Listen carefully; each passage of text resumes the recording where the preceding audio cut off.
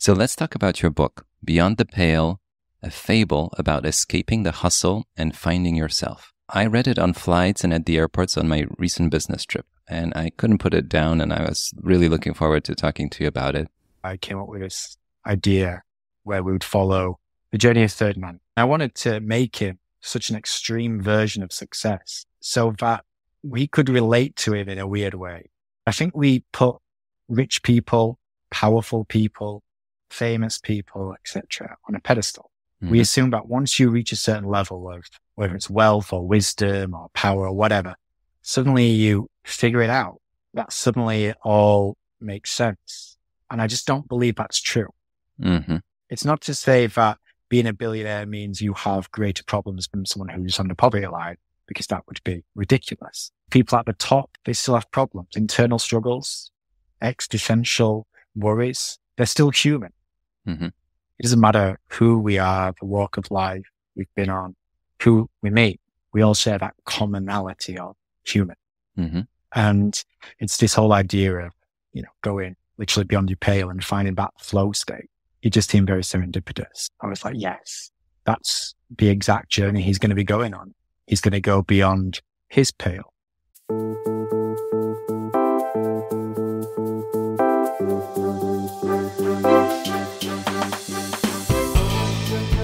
Welcome to Talking Billions. We talk about big ideas, big inspirations, big topics. We take on the hardest subject of all money. How to make it, save it, keep it. But our conversations lead us to an even bigger question what it means to live a rich life beyond money.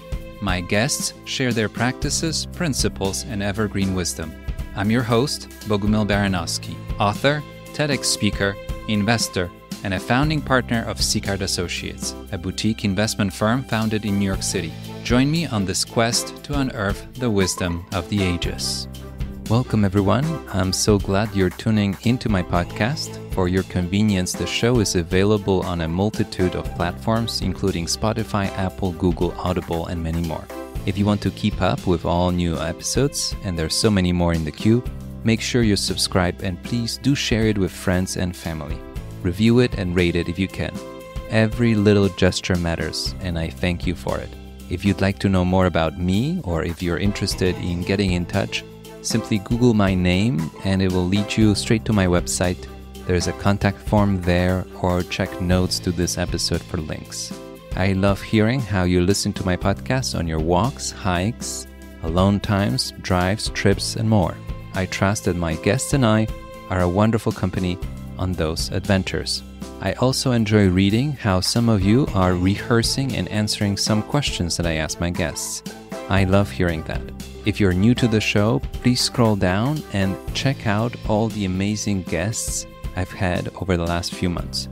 If you are serious about investing, money wisdom, wealth, and living a better life, you'll find plenty of episodes with some incredible ideas. For those who enjoy reading thoughtful pieces, I regularly write articles on Substack, which I'm sure you'd find insightful. Find me there and follow me as well. Finally, I'd like to mention my latest book, Crisis Investing. It's a collection of 100 essays that I penned for our clients during the tumultuous times of the global COVID pandemic. These essays are both timely and timeless, providing a unique perspective on navigating through crises. They were never meant to be published, but here they are available to you please find the book on Amazon. The book has already received considerable recognition and much love, ranking among the top releases on Amazon in its initial weeks. Thank you for your support and for being a part of my listener community. Now, without further ado, let's dive into today's episode. My guest today is Matthew Turner. He's a British author who wrote his latest book, Beyond the Pale on the back of interviewing hundreds of successful entrepreneurs, authors, investors, and thought leaders. As well as writing his own books, Matthew Ghost writes both articles and books for other successful entrepreneurs and thought leaders, in between spending time with his two children. Today, we talk about his book, Beyond the Pale, a fable about escaping the hustle and finding yourself. Matthew shares insights on the hero's journey in his book, exploring personal transformation, business success, and rediscovery of vision. We talk about the theme of praising achievement you know, in our culture. Matthew shares his thoughts on the concept of being a self made person. We discuss some of the powerful questions asked in the book. We talk about the importance of rest and slowing down. We also talk about the theme of control and then realization of limitations in controlling every aspect of life. We talk about freedom and the paradox between wealth and feeling imprisoned. Matthew also shares a quote The more you want something, the less likely you're to find. And we explore it further. We talk about scarcity and the difficulty of shaking it off. At the end, Matthew shares his own personal definition of success. As a bonus, Matthew offered to give away a copy of his book. If you like this episode and you would like a copy of the book, find out a way to get in touch with me and send me an email, and we will select winners. Thank you so much, and please help me welcome Matthew Turner. Well, hello, Matthew. Nice to see you. Welcome to the show. Thank you so much for having me. Real pleasure. So, you know that I really enjoyed your book, and we'll talk a lot about your writing and this book in particular. And I feel that you have a way of distilling some timely and timeless lessons from the world around you. And I know that you met a lot of people, interviewed a lot of people, collected a lot of lessons that you thought can serve you, but also, I think, a broader audience as well. So I want to talk about it today. But before we talk about your book, I want to talk about Matthew, about you. And if you indulge me, I like to ask my guests about their childhood and upbringing and how they think that time influenced the career path and the life they're living today. So tell me as much as you want to share. I am a born and bred Yorkshireman. So I've always lived, always been in the north of England, in Yorkshire. And I had what I look back on just as very, you know, cool upbringing. Mm-hmm. Parents who stayed together, a, sing, a sister, older, and I played a lot of sport and I just did a lot of things and I always had support of my parents. But I suppose when you reach a certain point in life and you start to pull a thread, you start to question where certain things came from. Now I realized that I had a great deal of support, but there was also a degree of um, emotional intelligence which was left on the table for me. Mm-hmm. And I always found it very difficult to express myself. I always found it very difficult to articulate what I was feeling, my emotions, my thoughts. Always was swarming with questions in my mind, and I didn't quite understand how to deal with them. So it developed into a lot of anxiety. And I look back now and realize, you know, I didn't really know it and recognize it because how do you? So my upbringing was fantastic, but you know, I had plenty of flaws and I had plenty of imperfections. And I look back and wish certain things were a different way. But it being the way it was has led me to explore writing. And it's how I got into writing in my early 20s as I found my way to express myself. And it remains the way I, I express myself. I love that. So I'm in the investment world. We manage money for wealthy individuals and I read a lot and I can't imagine being an investor without reading a lot. And I read all kinds of books and I came across your book and I found it really inspiring. That's why I reached out to you. But also a lot of investors write, even if they don't publish, they write. And even if it's in the form of a journal, I think it helps us organize our thoughts. Once it's written, it has a different weight to it and we can see more things and we can poke holes in the way we see the world. Yes. And then I, I, think it takes some courage to publish. So I always admire authors. I, I published a few books myself and, and I write articles that people read. But it makes you more vulnerable because people have their opinions and views and they don't necessarily agree with you. And sometimes you have absolutely no control over how people read what you write because they see it through their own experience. So I'm curious what the experience was like for you to write and at some point choose to publish. What was that like? It was difficult for all the reasons you said of it. So vulnerable. We're all fragile, imperfect human beings and we're only ever in our own heads. So we kind of slip into this thought process that everyone you know, overly cares. Whereas the reality is that most people are so busy inside their own heads that they don't really realize or care about what's going on in your world. So they may read your book, but they're necessarily, not necessarily going to, you know, judge you per se. Mm-hmm. But nevertheless, a really difficult thing to do. And it took me time. I was writing my first book in the shadows. returning to it as just this form of therapy tinkering away for seven or eight years. And I just reached to a point where I was like, this needs to stay in the drawer forever, or I need to complete the process here. I'm part of completing the process with pitching it to agents or self publishing or doing something. And I chose the latter and there was a lot of resistance there. In the early days when I started like blogging and writing and sharing things online, I would, you know, lean towards a bit of a pen name because I was mm-hmm. scared of putting me, Matthew, out there. Mm. But it, as with most things, gets easier the more you do it. You publish your first article, it's hard. By the time you get to 10, it's easier. A hundred, not so much of a big deal. A thousand, yes, it's not even a question in your mind. It's just like publish. And if people are going to think, they're going to think. They're going to act, they're going to act. Whatever. Doesn't really matter. But it's a scary process. And there's still an element of vulnerability around it all. Less so, I suppose, with blog posts and social media posts. Mm-hmm. With something big like a book where your blood, sweat and tears quite literally find their way among the pages. it's a terrifying run up uh-huh. And I don't think that'll ever go away, but the more books you do, read. you know, but there's a beautiful payoff as well. I have people approach me at events, conferences, and they walk up to me and they say, I, I read your book and I've been reading your articles and they think they know me because they do through the book, because I share quite a, a bit about my story growing up in Poland, coming to New York, having a, a career between, you know, two sides of the Atlantic.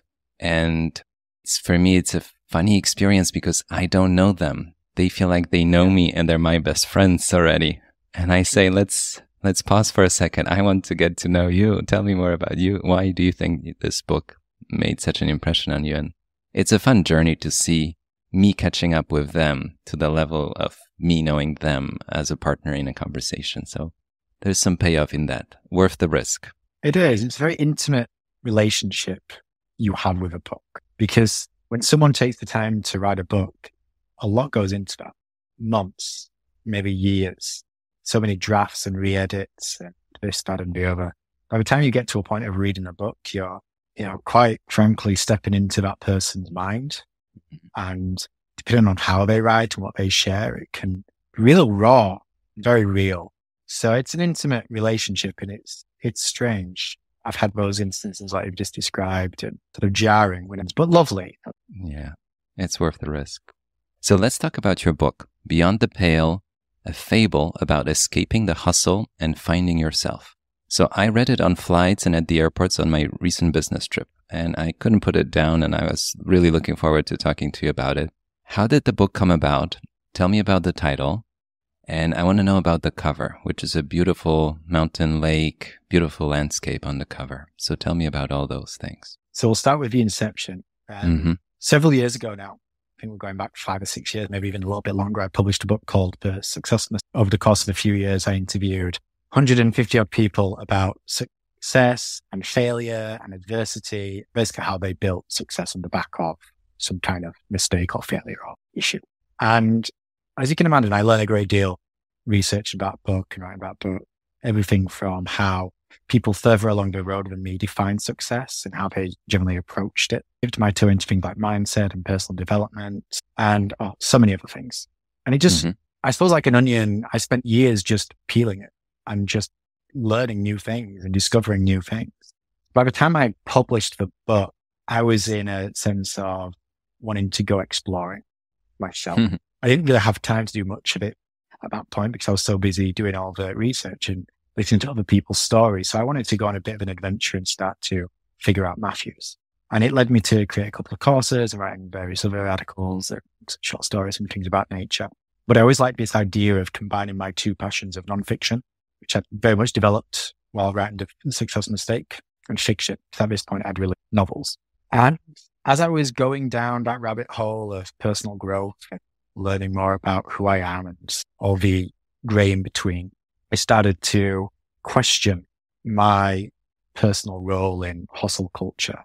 I started mm-hmm. to be curious about my relationship with work and that whole work life balance. I started to question my relationship with success and whether I was actually doing what I wanted to do. And then one day, just seemingly out of nowhere, I came up with this idea where we would follow the journey of Ferdinand, a very successful individual, like the poster child of success.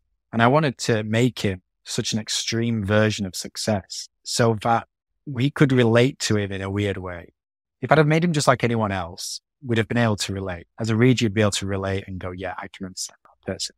But I think we put rich people, powerful people, famous people, etc., on a pedestal. Mm-hmm. We assume that once you reach a certain level of whether it's wealth or wisdom or power or whatever, suddenly you figure it out. That suddenly it all makes sense. And I just don't believe that's true. Mm-hmm. It's not to say that being a billionaire means you have greater problems than someone who's on the poverty line, because that would be ridiculous. A billionaire's problems is still more blessed than someone who struggles to make ends meet. But a billionaire is still going to have problems. A millionaire is still going to have problems. Those people at the top who have managed to take a step back and they have all these other works and managers leading their business, they still have problems, internal struggles, existential worries. They're still human. So I like the idea of making him this extreme version where on the one hand, we can't possibly relate to because he has so much, so much. Mm-hmm. On the other hand, we admire and aspire to, at least on some subconscious level, because we believe if I get to that point, surely life will be easier. But then relate to him on a personal human level as the journey, journey progresses and start to realize that it doesn't matter who we are, the walk of life we've been on, who we meet, we all share that commonality of human. That's kind of where the whole idea of Beyond the Pale spurred from. And the name, mm-hmm. it came, I suppose it was a, a term that I'd known for a number of years. I remember on one of my runs a few years ago now, a number of years ago, I was listening to Stealing Fire by Steven Kotler and Jamie Wheal. Mm-hmm. And it's this whole idea of, you know, going literally beyond your pale and finding that flow state. And at one point in the book, he mentions beyond the pale. And this was at a time when I was starting to explore Ferdinand and think about what will this book look like. It just seemed very serendipitous. I was like, yes, that's the exact journey he's going to be going on. He's going to go beyond his pale. Mm-hmm. He's going to have to break down his business, break down his self in order to realize the journey he's been on and the journey he wants to be on. So yeah, that's kind of where the name came from. I love it. What about the cover? I really like the cover. Maybe because I like the mountains and the, a lake in the mountains. It's just a beautiful thing to see. But tell me more about the cover. Where is this place? It's beautiful, isn't it? It's uh-huh. beautiful. I, oh man, someone told me actually it's it's one of the national parks in, I believe, North America. I can't remember which, but I can't lay claim to it. It was one of the very talented designers at my publishers, Morgan James, and they came up with a few different designs, and they were all good. But that one just spoke to me. And we're not alone in loving that cover. I've had quite a number of people say, oh, that cover is just, yes, perfect. stands out, which is great for a book cover, but it speaks to a soul, I think, as you say, like this idea of mountain. But it's very serendipitous. It's very meaningful as well because, and, and, I, and the designer didn't know this. I don't remember telling the designer this anyway. But the way that I've always built the analogy of Ferdinand's growth and this idea of growth in general is that of climbing a mountain. There's three phases. There's awareness, ascension, and then evolution on the other side. So awareness is this idea of like, once you've opened your eyes, you choose to stay awake or to, to roll over. And if you choose to stay awake, you must ascend the mountain. Mm-hmm. So as I was developing beyond the pale, even though mountains don't play a role in the story, they played a massive role in my development of the story. So it just spoke to me on so many ways. And I was like, yes, no, no questions asked. This is the cover. It captures the essence of the book somehow to me. And uh, I kept looking back at the cover as I was reading the book.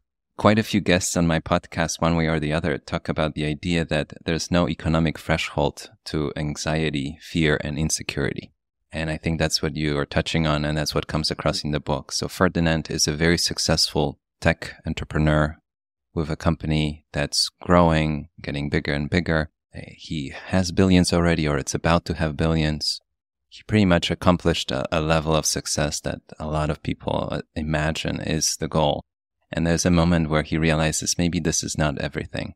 And I'd love for you to introduce us to some of the people he gets to meet on his journey and maybe share a few lessons that he receives from all kinds of wise people that enter his life at that moment when he's ready to search for something else or something different. Yeah, I wanted to make his interactions with people as a huge part of the story because it was a huge part of my personal story as I was going down this rabbit hole of self discovery, interviewing all those other individuals. So I wanted to literally bring people who have inspired me mm-hmm. into the story. So even though Ferdinand's a fictional character and his business is a fictional one, it's very much set in the real world. So he meets people who exist, like Jordan Harbinger and AJ Leon, and Hollis Carter, Sol Orwell, to name just a mm-hmm. few. I think there's 10 in total. And each person he interacts with, they share conversations. Mm-hmm. in some cases, multiple conversations. And each one, I suppose, peels a layer of his onion mm-hmm. where he starts to go, mm, okay, I haven't thought about this, at least not in this way before. Maybe I need to see where that takes me. And these would be kind of conversations which I having with these people that inspired me in those ways over the years. So I asked, would I be able to, you know, interview you for the book? I be able to speak to you and just imagine what it would be like having a conversation with you in the shoes of, it was wonderful. So for instance, with Jordan Harbinger, he acts as the catalyst of Ferdinand's entire journey where he starts to have him question his privilege, starts to ask, question, have him question his meaning, his mm-hmm. purpose, why he wanted to become a billionaire, why he wanted this massive business.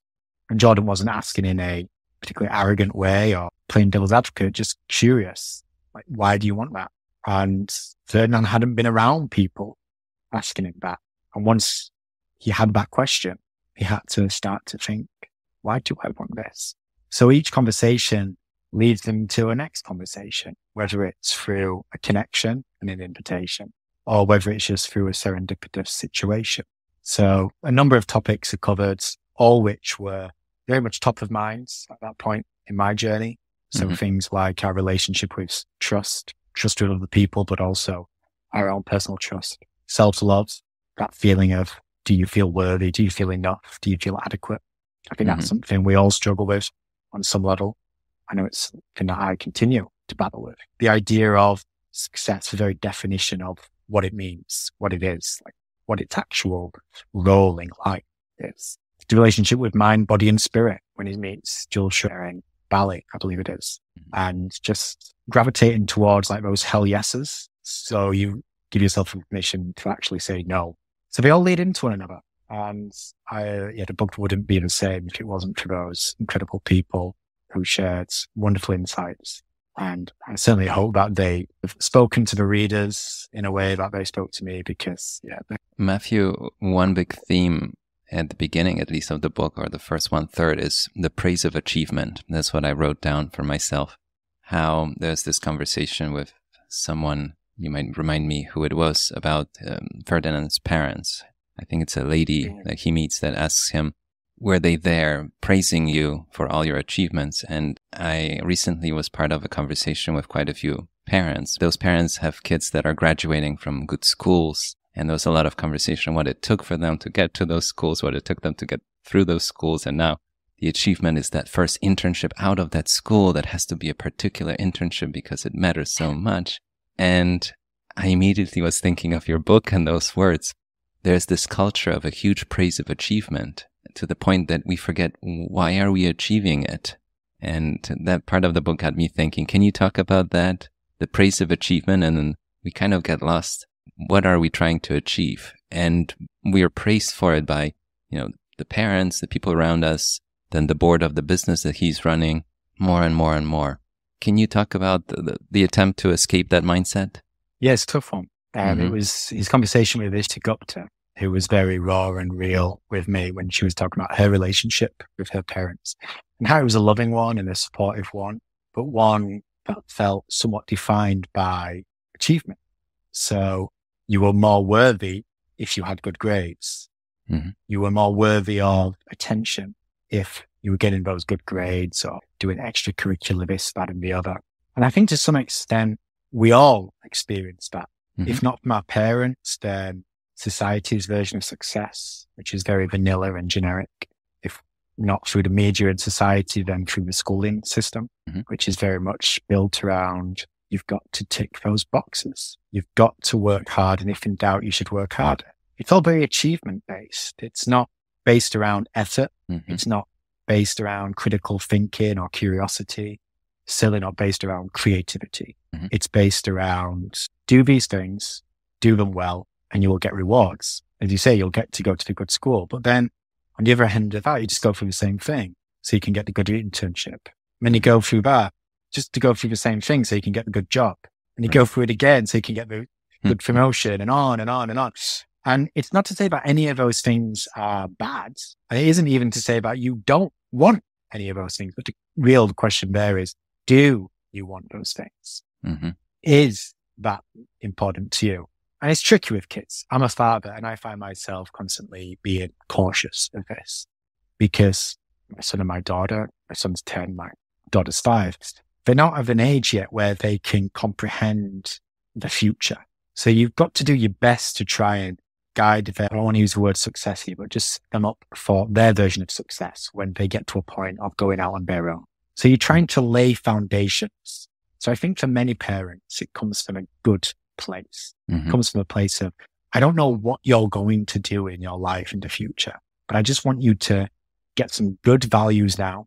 I want you to get good grades, good this, that, and the other. So you've got the foundation so you can do something with yourself because you can't redo it. If you get to that point in life at 18, 20, whenever it is, and you haven't set those foundations, you're going to have to start from nothing mm-hmm. or it will feel like nothing.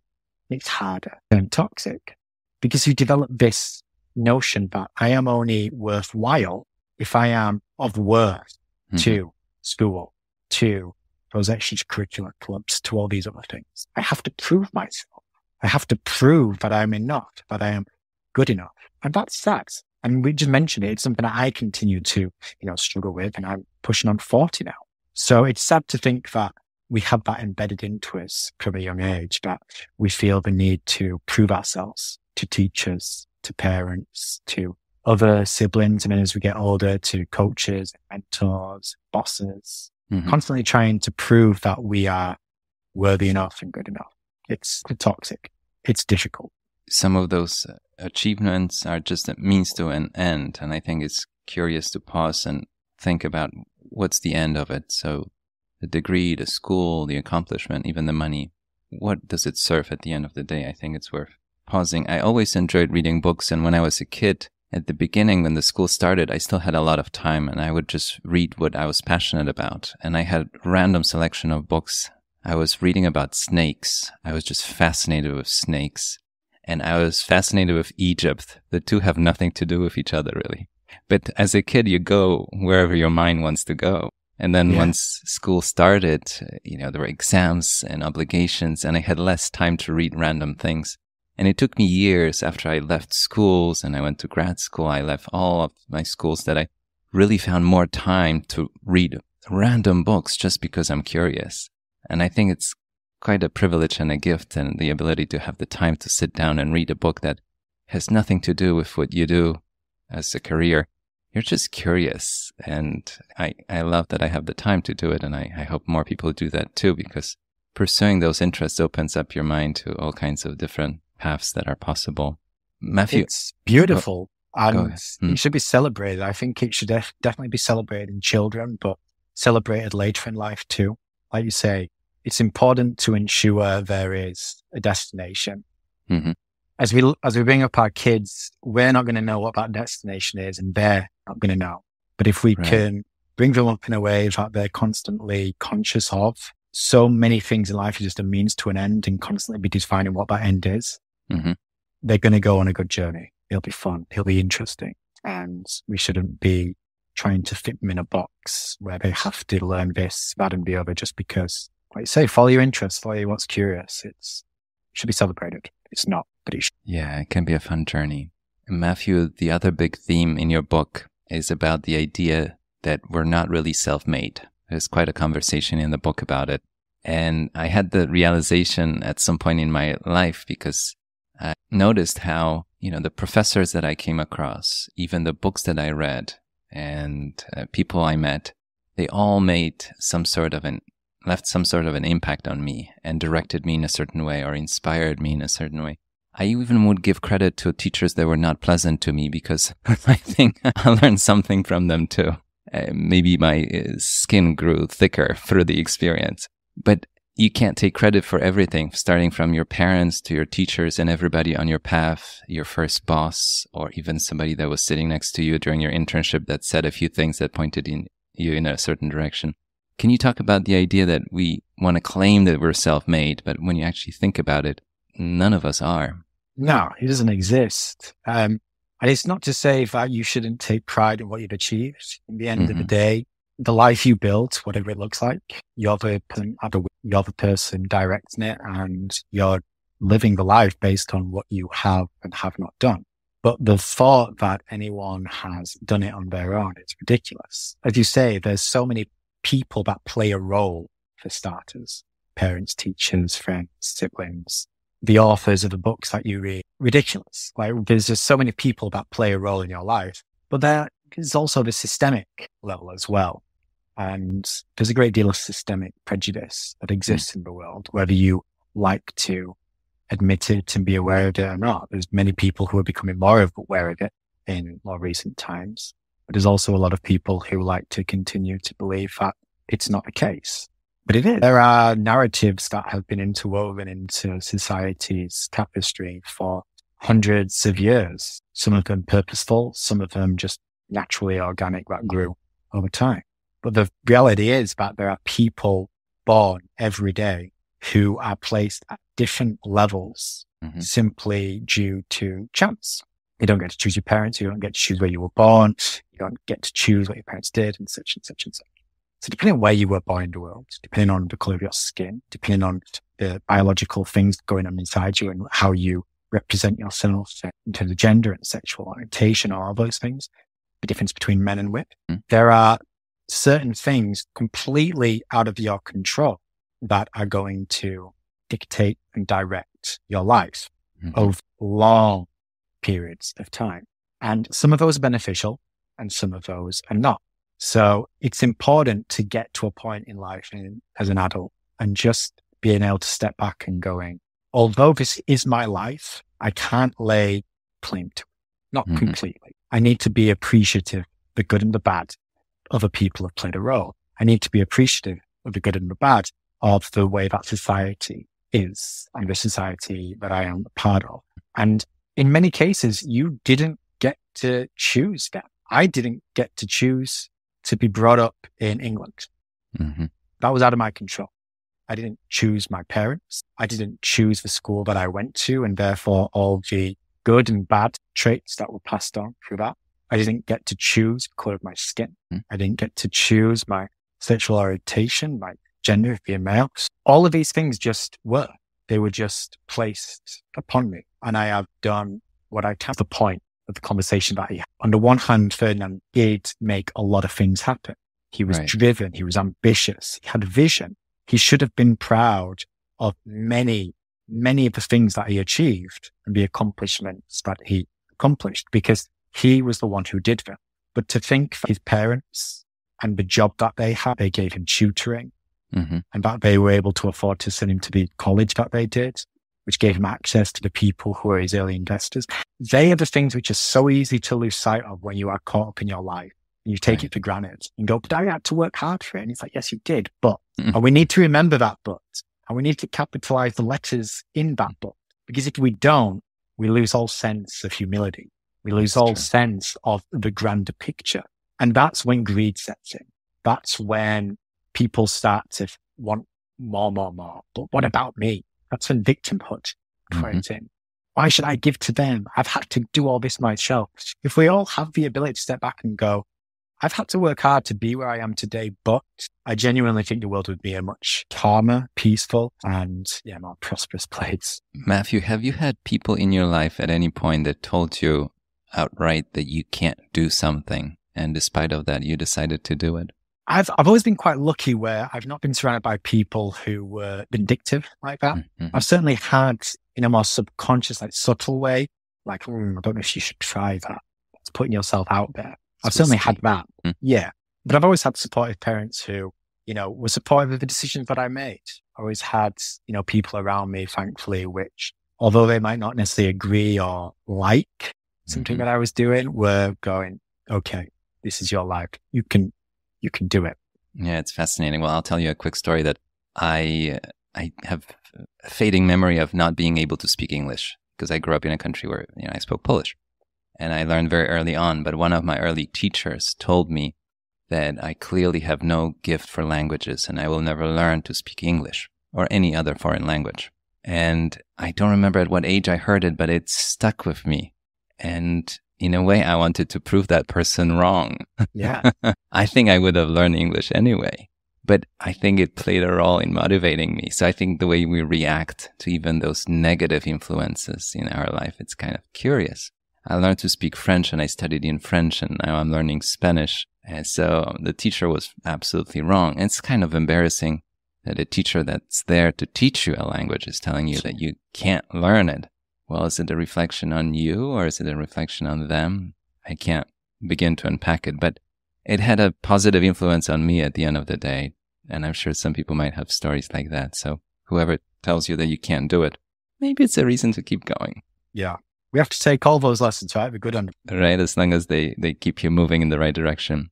There is a beautiful quote that I wrote down and it got me thinking, and I'll read it to you. And the quote is, have you ever questioned everything you were sure you knew was true? And I really like it because again, it makes me pause and think.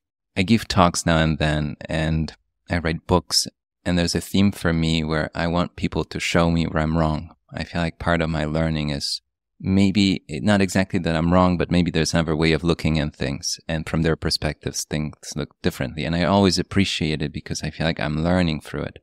I really like that quote. Can you share more about that quote, how it came about, the questioning of everything that you thought you knew? Yeah, I believe it was when I was listening to, I forget which one of Mark Manson's book. I can't remember his first or his second, but on one of my many runs when I do a lot of my listening. And he talked about this idea of all we do in our lives is constantly debunk ourselves. hmm And we, we constantly do it.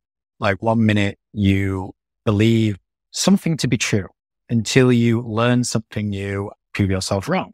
It's a constant evolution that we go through. Yeah, at certain point, at all points in time, you're certain about certain things, like so certain. Like, I feel like this and I always will. This is true to me. This is my truth.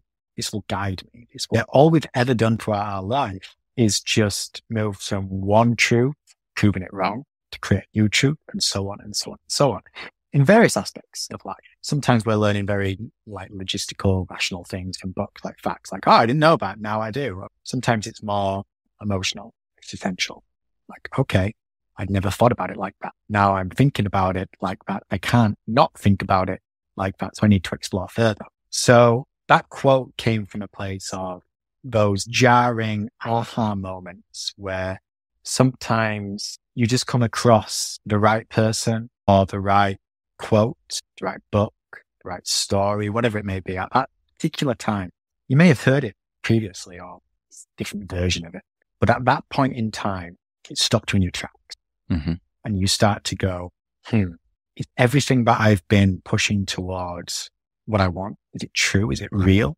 And I think we all go through those stages of life where we learn something new and it just seems to debunk everything up to that point. One of the big ones for me in more recent years, in the last sort of seven or eight years, is this idea of mindset Mhm. where, wow, I guess I knew that there was nuance within a mind, but everyone's different and that it's very complex, but I didn't really know it. And then when I learned about mindset, like growth mindset, fixed mindset, you know, the psychological aspects that go into all the inner workings, I am no expert by any means. There's an entire science into it, but I just dipped my toe into it enough to go, wow, this changes everything. Everything I thought to be true, the way I think, the way I react, the way I do absolutely everything. Mhm. It's different now. I think we all go through those moments. So yeah, that's where that, Well, the last part you mentioned, the growth mindset, I think the revelation is that you can change, you can learn, and uh, the education doesn't end with the last degree you get, but you have a lifetime to continue to grow. And it's okay to change your mind. I even wrote an article that I titled, I Changed My Mind. And I wrote all kinds of ideas that have to do with investing that I changed my mind about. because I continue to, to grow and question. But the funny thing is that everybody around you will poke at the fact that you changed your mind because they yeah. say, "Oh, you used to do this." yeah, and it's okay. And it's, it's okay. giving yourself permission to be like, I can change my mind. Mm-hmm. I can look at past me and go, he was wrong, but it wasn't like he was wrong. He was just misinformed. He knew what he knew. He had access to certain information, certain beliefs, certain experiences. So he built a belief, a version of truth around that. Mm-hmm. Now I have access to more, to different. So my perception, my sort of interaction with that thing is now different. And that is okay. That is okay. There's a moment when uh, Ferdinand goes on a walk. He's alone with his thoughts. And you say in the book that's something he hasn't done in a while. And it was a very powerful moment because when uh, COVID happened, my wife and I would go on walks just to leave our New York apartment. And then we, as I mentioned to you, we left New York and stayed in a cabin in the woods. We would go on walks. It was a stressful time in the investment profession, but I think for everybody, it was a very stressful time for various reasons. And we would go on walks, just take a break. And on my podcast, I had guests that talk about the benefits of rest, of rest and benefit of slowing down. And I really like this moment in the book when he goes on a walk and for the first time in a while, he can actually hear his own thoughts. Can yeah. you talk about that moment? I feel like we all need moments like this in our routine, in our life. Yeah. We live in a very chaotic world. It's difficult. I talk about this a lot now with um, a lot of the sort of things which I write about and work on with, you know, hustle. Hustle culture is deeply ingrained into society now. It's very busy, very stimulating. Mm-hmm.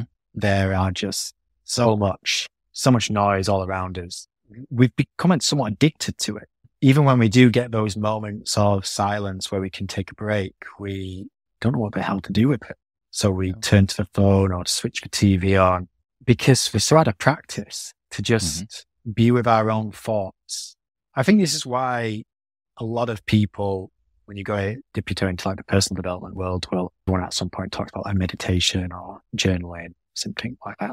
I don't think it's the po- like meditation isn't the point. It's not the point of being like at one with yourself or finding peace or it's just growing to be comfortable with a little bit of silence, to just reconnecting with those thoughts, those feelings, that inner voice, just being okay with it. Not necessarily to do anything with it, to just allow it to be and to not have to feel the necessity to distract yourself with noise. Mm-hmm. But we're addicted to that noise. We're out of practice with silence, it's quite fearing, like it's fearful. And it takes a bit of time for you to get used to it. And I'll, I'll anyone listening, watching this mm-hmm. right now, uh, I dare you to just sit in a room at some point today, switch everything off, allow all the things to be around you and just set the timer going and just sit there and do nothing for five minutes and feel how uncomfortable it is. Then if you get the opportunity to over the next couple of weeks, try and just go for a longish walk in nature, ideally. Mm-hmm. Don't take your phone. Don't do anything else. Just go for a walk. Have it be at least 30, 40 minutes. First, you will find your mind just going a mile a minute like everything else. So I can't distract myself with a phone. So I'll distract myself with my to-do list. Right. Mm-hmm. Doing it. And it's hard and it's relentless. Can't switch off. But as the walk progresses, you get some ideas and you just start to let go slowly but surely. You'll find yourself just letting go of all those thoughts. You'll find yourself just being okay with the thoughts that are coming in, having to distract yourself right now, not have to be doing a thing right now. It takes a bit of time for us to get to that place because we're so out of practice. And I think that's what Ferdinand began to experience. He was so busy for so many years, going from one meeting to the next, building things, doing things, feeling the need to be switched on. He had a responsibility to it, but he mm-hmm. also had an addiction to it. And sure, he would distract himself every now and again to do a bit of journaling or meditation or yoga, but constantly finding it hard. Whereas when he just went for a walk for no purpose than to just walk, as 10 minutes became 20, became 30, became 40, it just became easier. And then further on in his journey, when he was doing more of that, more just existing, those inner voices started to have some real deep and meaningful conversations with. Those thoughts, those feelings start to, to have a sense of validation, he started to unpack things bit by bit by bit. but it takes some time. It takes some practice. It takes some perseverance. It's shocking and horrifying that we have such a toxic relationship with silence, Hmm. but it's just the nature of the world. And the only thing we can do is take control of what we can take control over and try and just reclaim a little bit of time as often as possible and just grow more in tune with silence. It may never be easy. You may never be a meditative monk who can sit there and find inner peace hour at a time. But if you can become someone who can enjoy a 30 minute walk without your world seeming to burn down, you're probably doing better than most.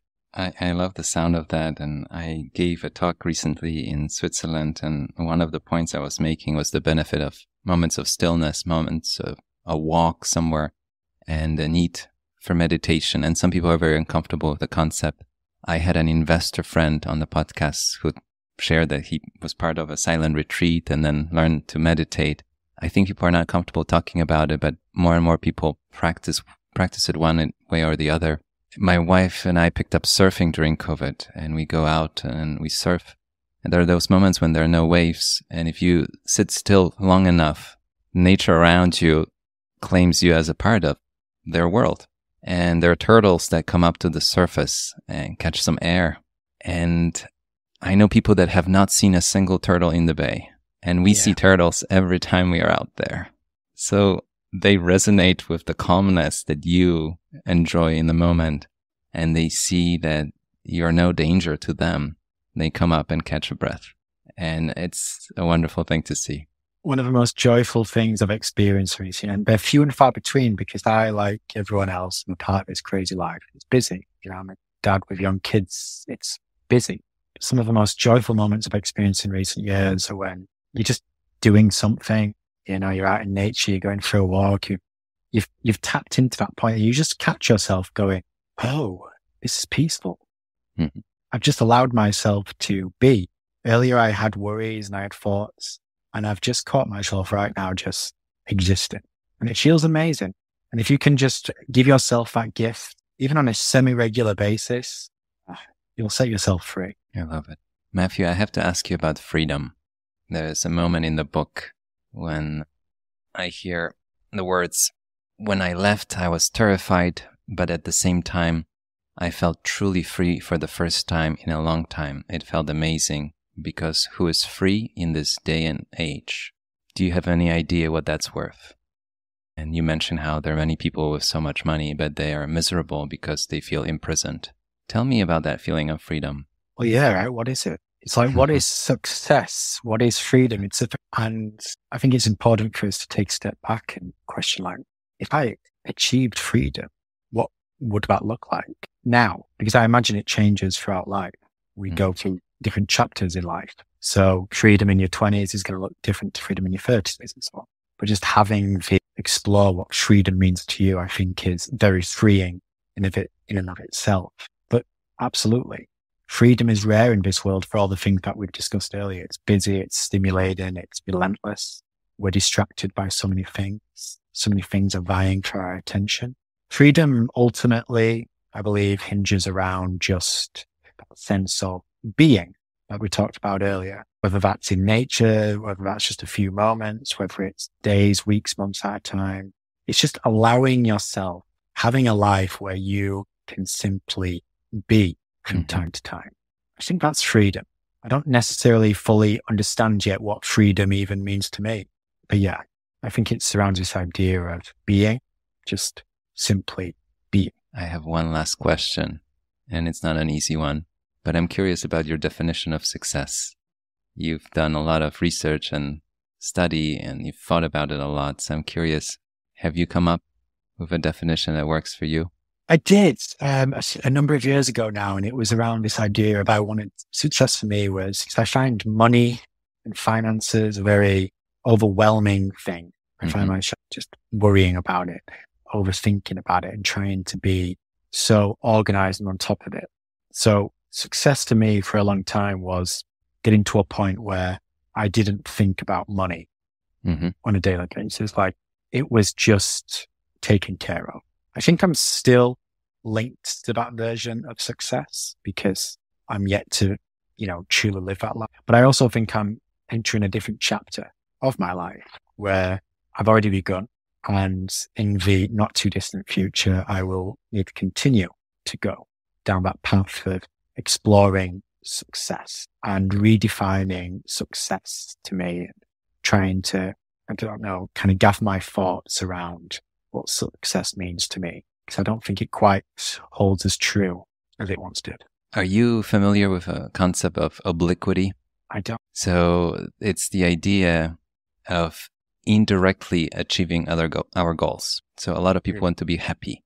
And happiness is something that's uh, philosophers have a beautiful way of putting it. It's something you can't accomplish in a direct way. It kind of sneaks up on you. Maybe on that walk, maybe that time with your kids, maybe that time with your partner, maybe the time you're reading the book that you're really enjoying. It sneaks up on you. And when you look around, there's so many things in life that we accomplish in an indirect way. The reason I bring it up is because you have this quote in your book. The more you want something, the less likely you are to find it. Do you remember that quote? Mm-hmm. It made me think of the indirect way of achieving certain things in life. Can you share a little bit more before I let you run? Yeah, I think there's something very powerful about letting go. Mm-hmm. We all, to an extent, I think, have, uh, we just, we just want control. We want to cling on to control we want to have control. We want to feel in control because control equals safety. Mm-hmm. But the reality is we have so little control of life and something very powerful happens when you just bit by bit begin to let go of those wants, those desires, those goals. To an extent, that vision of success, freedom, meaning, just letting go and letting what be, be. I think Stoicism is fascinating for that. Just this idea of letting go and letting what is to be. You have no idea what will happen when you do. That's the point. But as you say, things like happiness and fulfillment, satisfaction, they tend to be a byproduct of just letting go. Hmm. So the more you try to do something, achieve something, be something, the lost you're more likely to feel because you're so busy searching.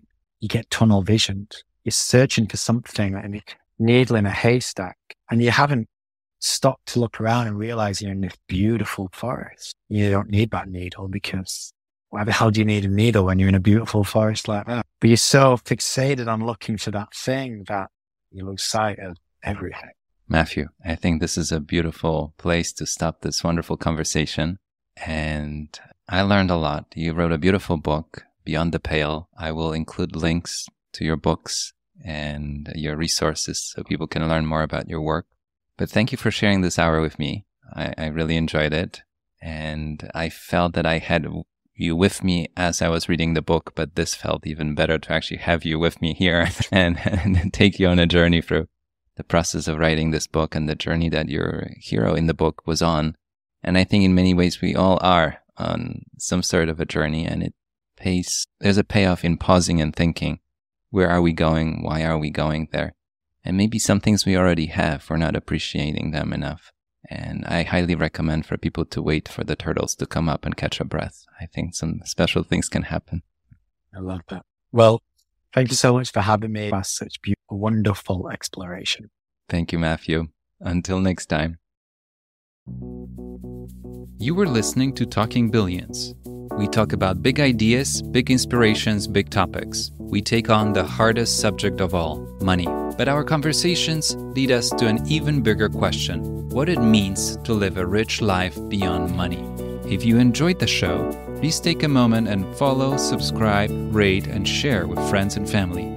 We rely on word of mouth to promote the show. One click for you means the world to us. Thank you. Until next time, your host, Bogumil Baranowski. The content of this podcast is for general informational purposes only, and so are the opinions of members of Sicart Associates, a registered investment advisor, and guests of the show. This podcast does not constitute a recommendation to buy or sell any specific security or financial instruments or provide investment advice or service. Past performance is not indicative of future results. More information on Sicart Associates is available in its Form ADV disclosure documents available at advisorinfo.sec.gov.